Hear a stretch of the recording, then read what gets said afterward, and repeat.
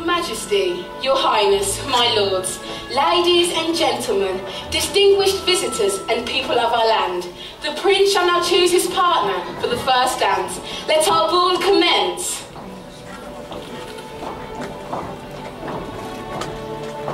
Your Highness, if I may, that is, it would give me the greatest pleasure if you would do me the honour of letting me lead you through this, the first dance. Yes, I would love to.